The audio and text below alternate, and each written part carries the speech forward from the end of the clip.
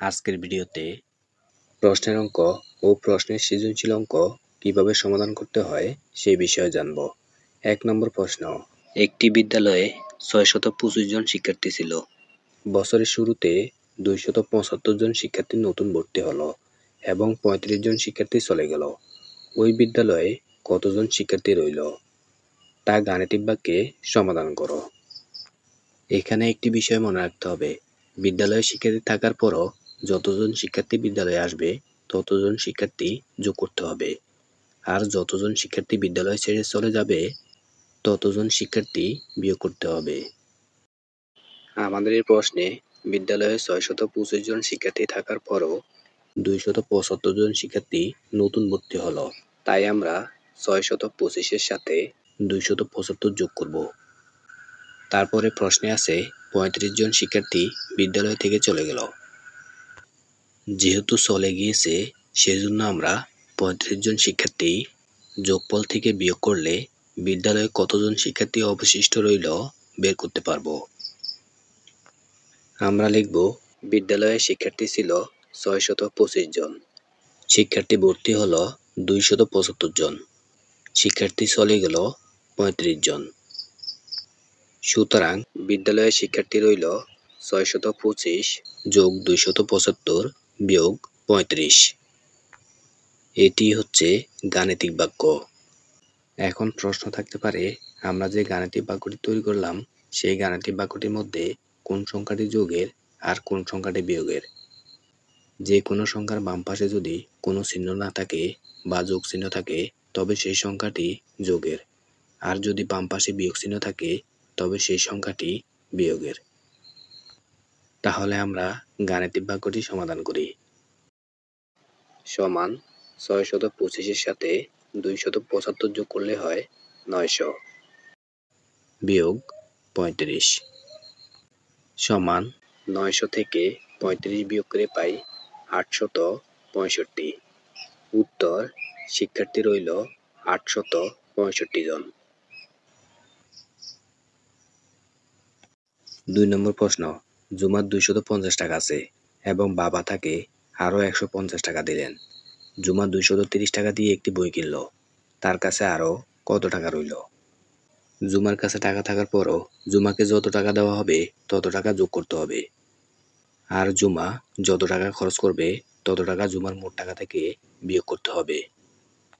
তাহলে জুমার মোট টাকা থেকে জুমার খরচের টাকা বিয়োগ করে জুমার কাছে কত টাকা রইল আমরা বের করব। আমরা লিখব, জুমার আছে দুইশত পঞ্চাশ টাকা। নিচে লিখব, বাবা দিলেন যোগ একশত পঞ্চাশ টাকা। দুইশত পঞ্চাশ টাকার সাথে একশত পঞ্চাশ টাকা যোগ করে পাই চারশত টাকা। তাহলে আমরা লিখতে পারি, জুমার কাছে হলো চারশত টাকা। এখন, যেহেতু জুমার দুইশত তিরিশ টাকা দিয়ে একটি বই কিনল, সেই দুইশত তিরিশ টাকা চারশত টাকা থেকে বিয়োগ করে জুমার কাছে কত টাকা রইল বের করব। আমরা লিখতে পারি, বই কিনল, বিয়োগ দুইশত তিরিশ টাকা।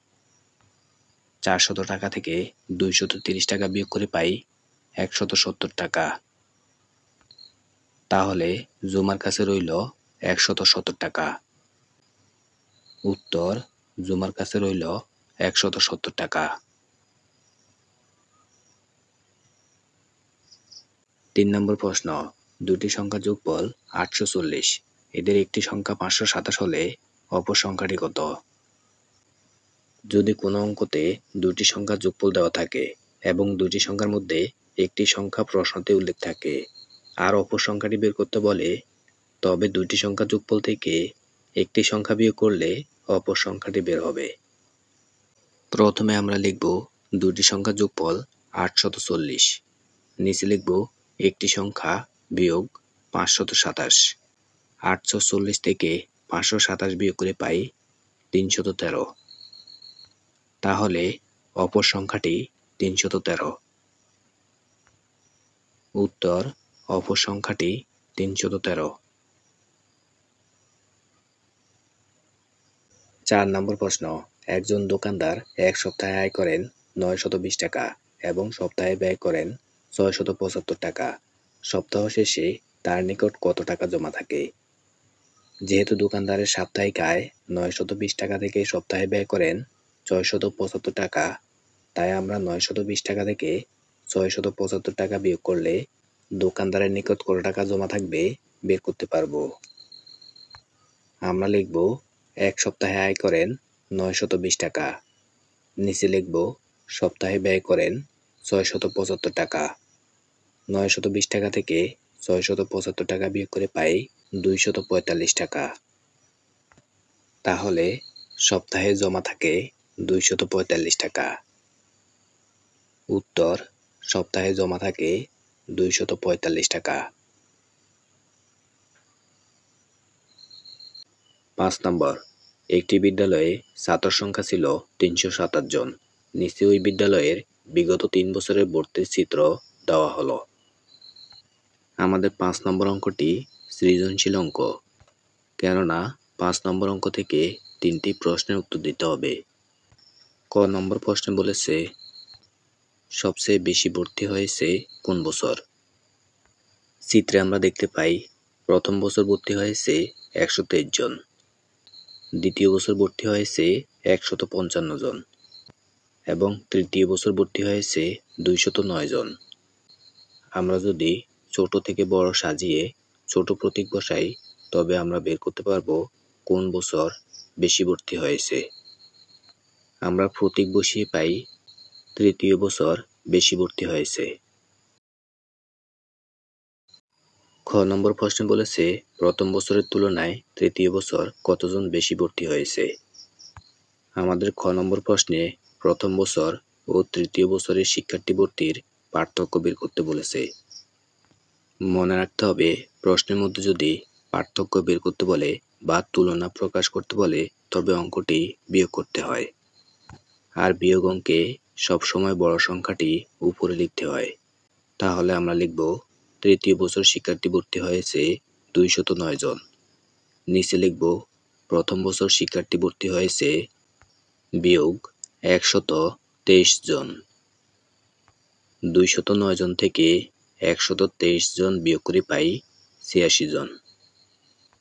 তাহলে তৃতীয় বছর শিক্ষার্থী বেশি ভর্তি হয়েছে ছিয়াশি জন।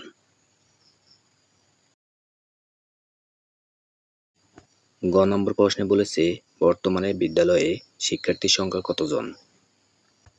আমরা প্রশ্নেতে দেখি, বিদ্যালয়ে ছাত্র সংখ্যা ছিল তিনশত সাতাশ জন। তারপরে চিত্রতে দেওয়া আছে, তিন বছরের শিক্ষার্থীর ভর্তির সংখ্যা। তাহলে বিদ্যালয়ের বর্তমান শিক্ষার্থীর সংখ্যা বের করতে হলে তিনশো সাতাশ জনের সাথে একশত তেইশ, একশত পঞ্চান্ন ও দুইশত নয় জন শিক্ষার্থী যোগ করতে হবে। আমরা লিখব, বিদ্যালয়ের শিক্ষার্থী ছিল তিনশত সাতাশ জন। তারপরে লিখব, প্রথম বছর ভর্তি হয়েছে একশত তেইশ জন। দ্বিতীয় বছর ভর্তি হয়েছে একশত পঞ্চান্ন জন। এবং শেষে লিখব, তৃতীয় বছর ভর্তি হয়েছে দুইশত নয় জন। তাহলে তিনশো সাতাশ, একশো তেইশ, একশো পঞ্চান্ন ও দুইশো নয় যোগ করে পাই আটশত চোদ্দ জন। এই আটশত চোদ্দ জন হচ্ছে বর্তমানে বিদ্যালয়ের শিক্ষার্থীর সংখ্যা। উত্তর, বর্তমানে বিদ্যালয়ের শিক্ষার্থীর সংখ্যা আটশত চোদ্দ জন। ছয় নম্বর প্রশ্ন দুটি সংখ্যার বিয়োগফল সাতাশি, বড় সংখ্যাটি তিনশত উনসত্তর হলে ছোট সংখ্যাটি কত? এই অঙ্কটি আমরা দুইটি নিয়মে করতে পারি। প্রথম নিয়ম হচ্ছে, বড় সংখ্যাটি থেকে দুটি সংখ্যার বিয়োগফল বিয়োগ করে ছোট সংখ্যাটি বের করতে হবে। আমরা লিখতে পারি, দেওয়া আছে দুটি সংখ্যার বিয়োগফল সাতাশি, বড় সংখ্যাটি তিনশত উনসত্তর সুতরাং ছোট সংখ্যাটি তিনশত উনসত্তর বিয়োগ সাতাশি। তিনশত উনসত্তর থেকে সাতাশি বিয়োগ করে পাই দুইশত বিরাশি। উত্তর, ছোট সংখ্যাটি দুইশত বিরাশি। পরের নিয়মটি হচ্ছে, যেহেতু প্রশ্নে বড় সংখ্যাটি দেওয়া আছে তিনশত উনসত্তর, তাই আমরা বড় সংখ্যাটিকে ধরে নিতে পারি বিয়োজন। কেননা বিয়োজন থেকে বিয়োজ্য বিয়োগ করলেই বিয়োগফল বের করা যায়। আর আমরা সাধারণত জানি বিয়োজন সবসময় বড় হয়, বিয়োজ্য সবসময় ছোট হয়। তাহলে আমরা লিখব বিয়োজন তিনশত উনসত্তর। নিচে লিখব বিয়োগফল বিয়োগ সাতাশি। তিনশত উনসত্তর থেকে সাতাশি বিয়োগ করে পাই দুইশত বিরাশি। এই দুইশত বিরাশি হচ্ছে বিয়োজ্য। তাহলে আমরা উত্তর লিখতে পারি ছোট সংখ্যাটি দুইশত বিরাশি। সাত নম্বরে দুটি পাত্র দেওয়া আছে। প্রথম পাত্রে পানি আছে দুইশত পঁয়ত্রিশ গ্লাস। দ্বিতীয় পাত্রে পানি আছে তিনশত পঁয়ষট্টি গ্লাস। আমাদেরকে চিত্রের এই দুইটি পাত্রের পানি থেকে নিচের তিনটি প্রশ্নের উত্তর দিতে হবে। একটি বিষয় খেয়াল রাখতে হবে।